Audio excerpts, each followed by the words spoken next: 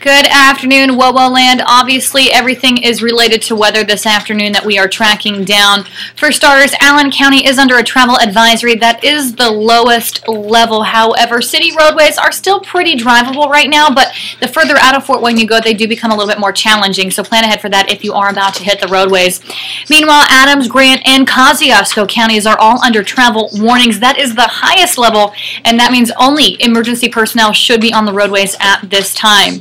Also, Angola is enacting a snow removal order. That means residents have 24 hours to move their vehicles for that. Otherwise, potentially they could be towed.